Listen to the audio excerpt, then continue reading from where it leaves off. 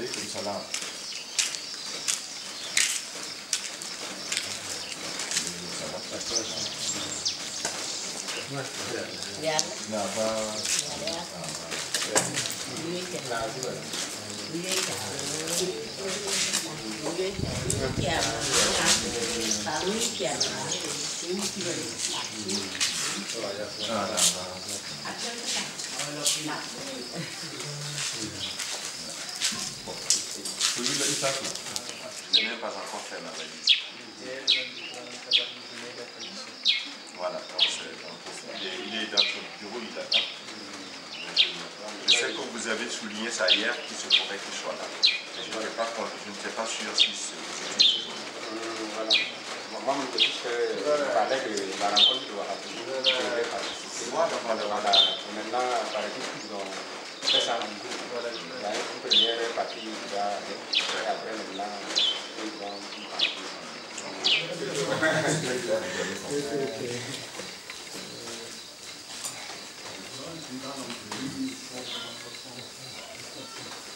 Donc après, après on, va rentrer. Voilà. je veux corriger les, voilà. les, preuves là. Si vous pouvez aller.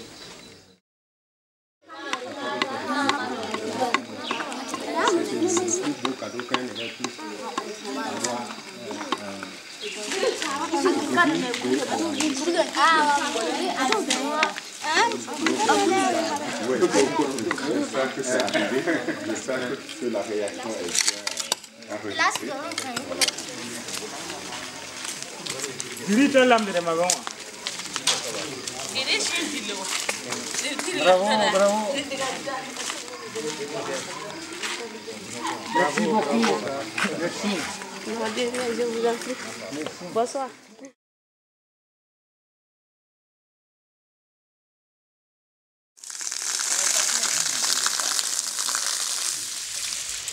This element uh, was an important ele- uh, design element for the teacher house.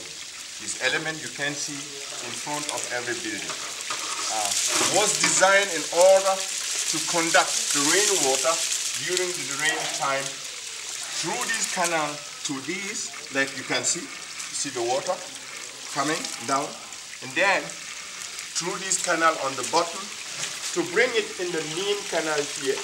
So the water will come from these canals, canals to this main canal and will be conducted to the end there where there is a vessel be used to collect the rainwater and to use it in the rain, in the, in the dry season where there is no water to grow plants or vegetables or lot of things.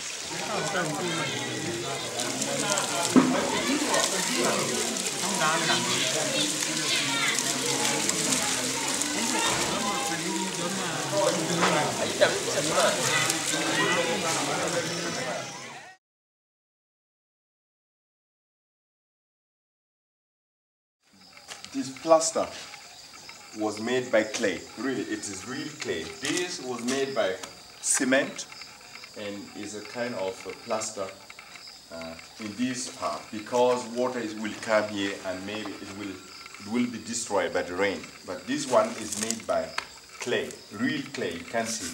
You see, it's clay, and it is made vertical. The rain cannot destroy it.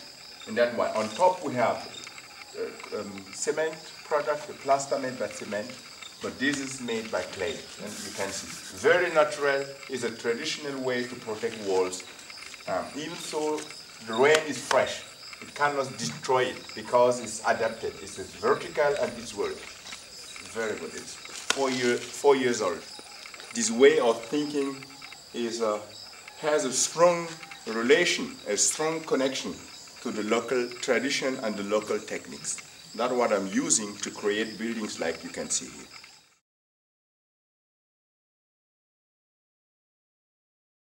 From the beginning, you know, making drawing, thinking about the project, talking to the people, and then trying to find out which material is the best for the for for for, for producing the bricks.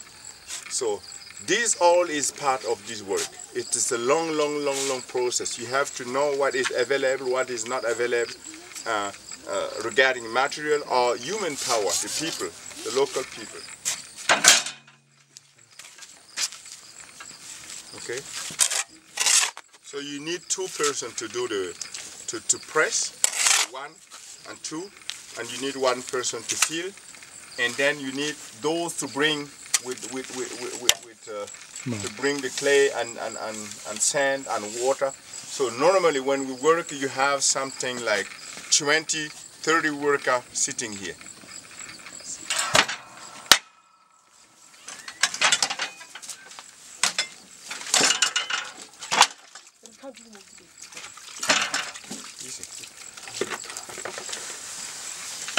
So like this, we take it, so can see, and we put it to dry.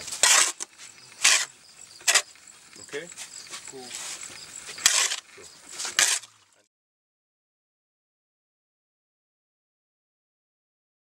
One important element in this architecture is this opening in the ceiling.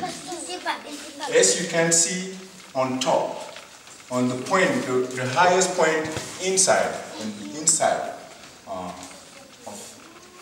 part of the ceiling, uh, we have this opening in order to have light inside the building on the level of the board. So giving more visibility to the student and to the teacher.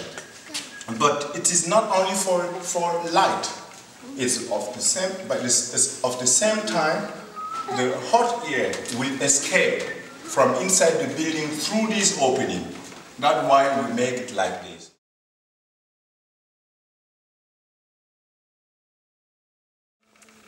In Dano, in this building, we decide to use local material. Uh, like in Gando where we use bricks, we decide to use the local. The most available material in this region is laterite.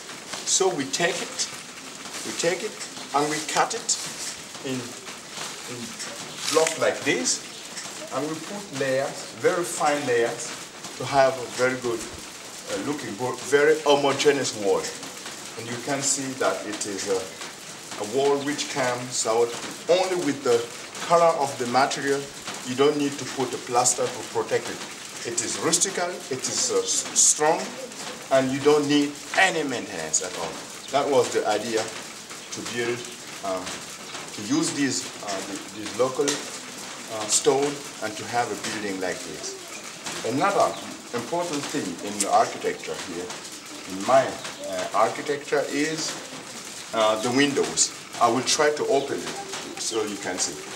Um, you can you, you can open it in two different ways. I try to like this, and then you can close it. So you close it, and from inside normally you will like this. So like this. So it is a little dirty, but just to show you how it works, uh, and that's so when it's very hot, they close it. I, I tell you, you, they do it from inside, and you can do like this. You can. So perfecto.